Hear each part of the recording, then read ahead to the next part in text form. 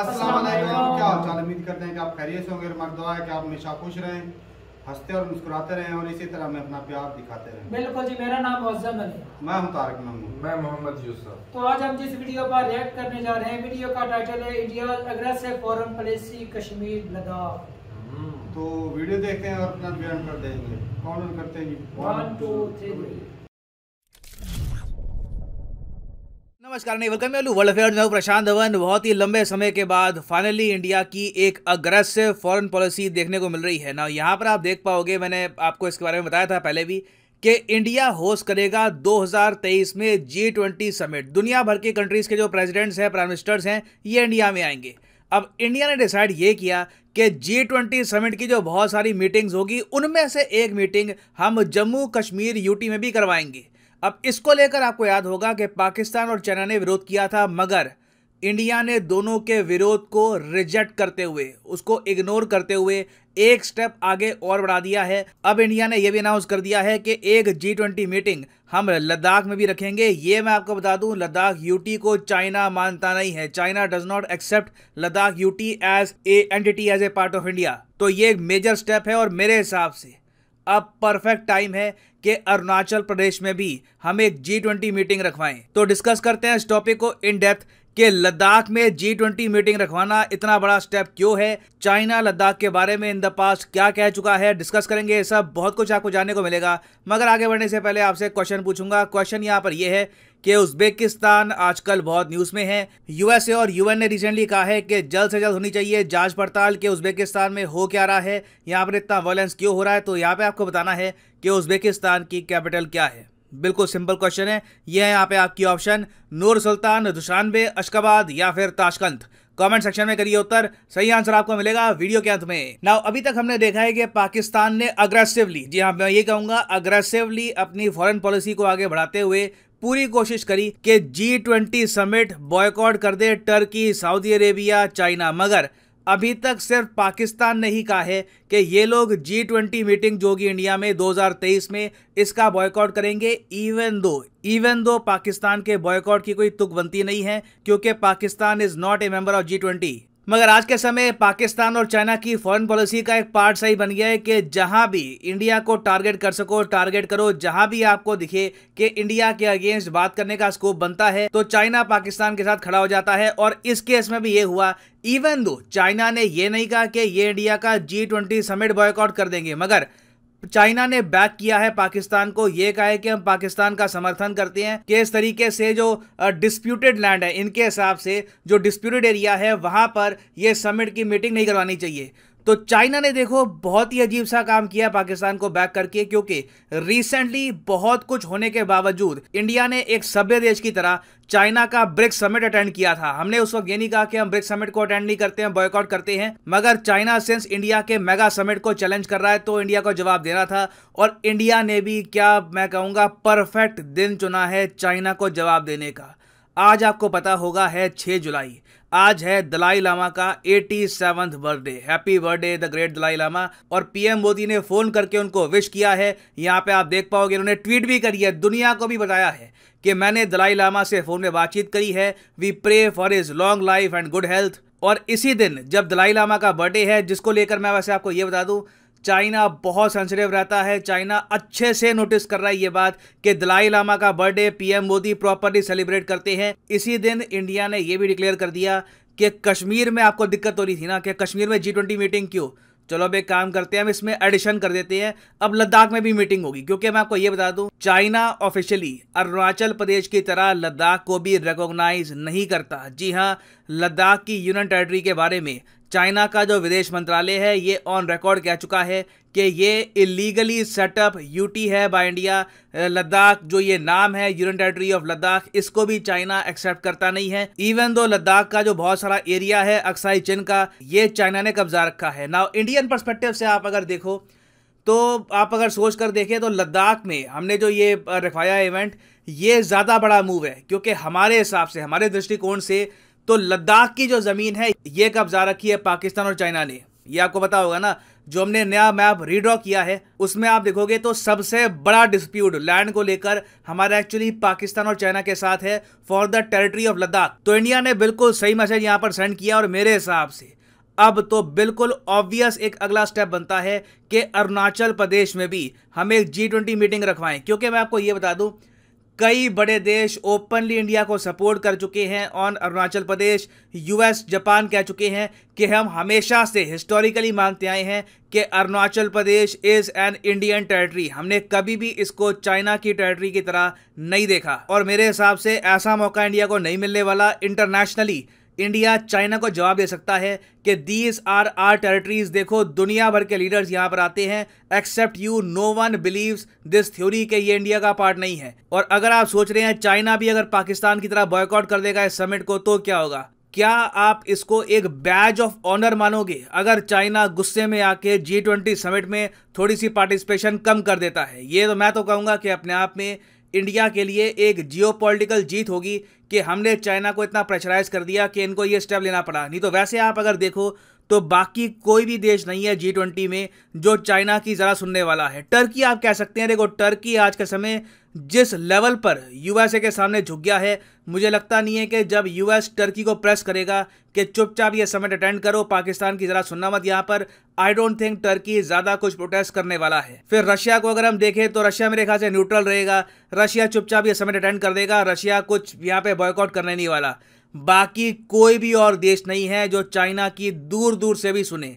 एक परसेंट भी चांस नहीं है। Brazil, Germany, Indonesia, Japan, Mexico, Italy, South Korea, कोई यहाँ पर नॉर्थ कोरिया नहीं है, कोई पाकिस्तान नहीं है यहाँ पर कोई भी ऐसा देश नहीं है जो चाइना पर बहुत ज़्यादा डिपेंड करता है। तो चाइना बेसिकली आप अगर देखो तो फंस चुका है। और अगर चाइना इस बार का जी ट्वेंटी समिट बॉयकआउट करता है तो मैं आपको ये बता दूँ, इससे प्रेशर आ जाएगा चाइना पर। और जैसे आपको बताओगा हम लोग काफ़ी बार इंडिया में बातचीत करते हैं कि हम ब्रिक्स का पार्ट क्यों हैं, चाइना के साथ हमारे जो जियो इंटरेस्ट हैं, ये अलाइन होते नहीं हैं। अब चाइना में भी विचार होगा कि हम ब्रिक्स का पार्ट क्यों है इंडिया के साथ हमारे इंटरेस्ट अलाइन होते नहीं है। तो ये एक बड़ा मूव है by India it will be interesting to see how China respond ना वापस आते हैं अपने प्रश्न की तरफ़। कि उज्बेकिस्तान आजकल न्यूज़ में है what is the capital of Uzbekistan? तो सही उत्तर यहाँ पे है option option D Tashkent is the right answer ये बात याद रखना, कजाकिस्तान की कैपिटल है नूर सुल्तान, तजिकिस्तान की कैपिटल है, दुशानबे, तुर्कमेनिस्तान की कैपिटल है, अशकाबाद, और उज्बेकिस्तान की कैपिटल है, ताशकंद. और फाइनली पर मैं ये भी ऐड कर दूँ कि 8 जुलाई तक एक स्पेशल ऑफ़र चल रहा है एसएससी बैंक यूपीएससी एग्ज़ाम्स के लिए. सिंपली आपको जाना है कमेंट सेक्शन में. अब देखो, मान लो अगर आप परचेज करते हो यूपीएससी का कोर्स तो यूपीएससी कोर्स में क्या है कि अगर आप एक साल का कोर्स परचेज करते हो तो आपको तीन महीने फ्री मिलेंगे। यहाँ पर आप देख पाओगे, बारह महीने का कोर्स आप अगर परचेज करते हो यूपीएससी का तो you will get three months extra free और अगर आप अट्ठारह महीने का परचेज करते हो तो सीधा आपको छः महीने एक्स्ट्रा मिलेंगे। तो 18 महीने का अगर आप यूपीएससी कोर्स परचेज करते हो तो सीधा आपका ये कोर्स बन जाएगा 24 महीने का। एसएससी में यह है कि अगर आप 12 महीने का कोर्स परचेज करते हैं तो आपको दो महीने एक्स्ट्रा फ्री मिलेंगे। तो एक कोर्स एक्सटेंशन ऑफ़र चल रहा है आज के समय if you want you can buy this courses मगर जो प्राइसेस यहाँ पर लिखे हैं पे करने की आवश्यकता नहीं है, क्योंकि अगर यहाँ पे आप कोड डालते हो पीडी टेन तो प्राइसेस गिरने शुरू हो जाएँगे the prices will start falling so use the code PD ten and save money so इसी नोट के साथ, यह है वीडियो का अंत. Thank you for listening and as always God bless you all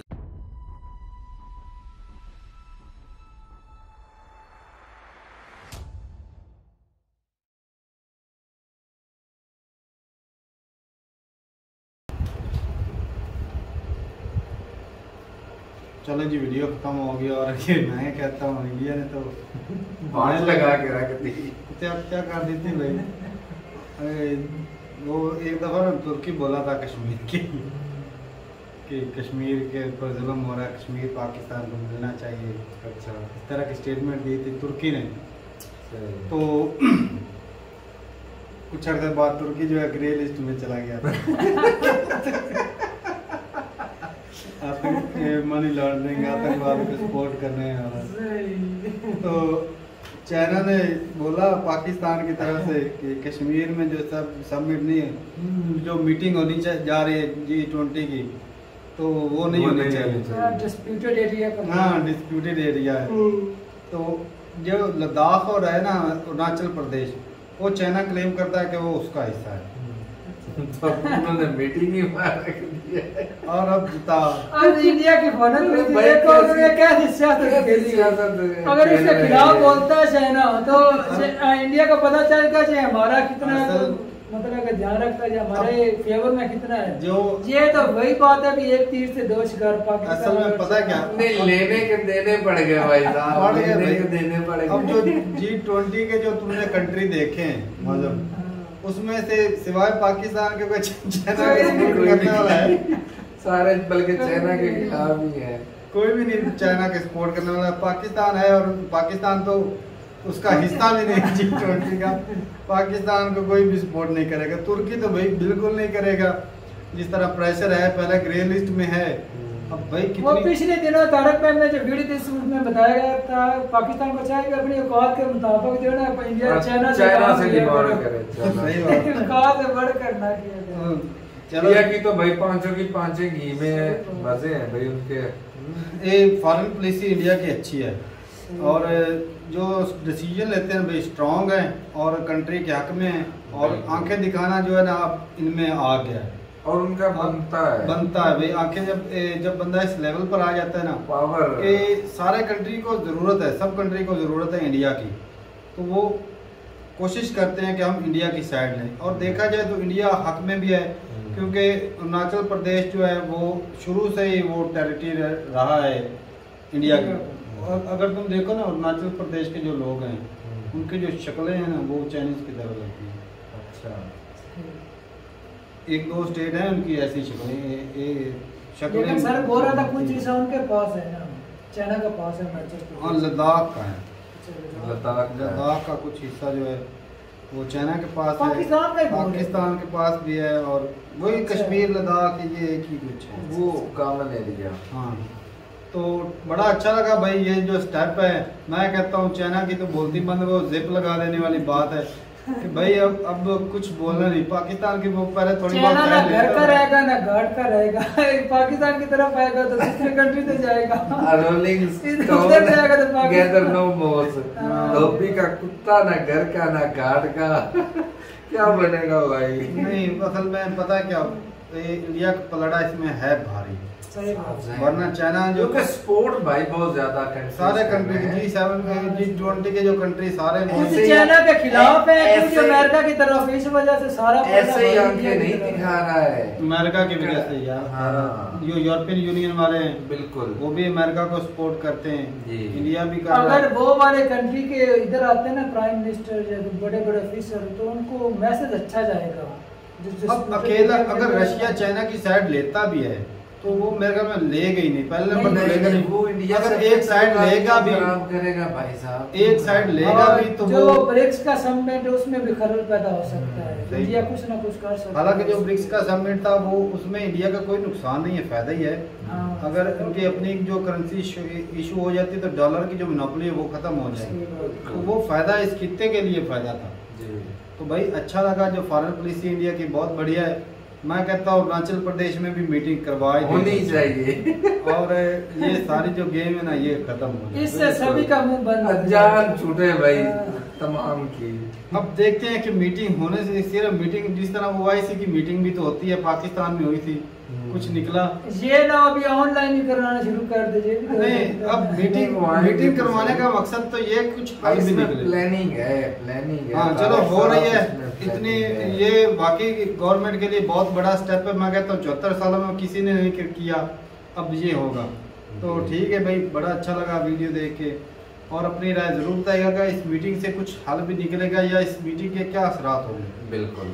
क्योंकि क्या इस मीटिंग से तारक भाई ये जो डिस्प्यूटेड एरिया है कि एशिया के अंदर या जो पाकिस्तान चाइना और इंडिया का है इससे कोई इसका कोई हल निकलेगा उस डिस्प्यूटेड एरिया कुछ भी नहीं निकलेगा। अगर निकलना होता तो आज तक निकल जाता। तो ठीक है भाई मिलते नहीं के साथ तब तक के लिए इजाज़त दें। अल्लाह।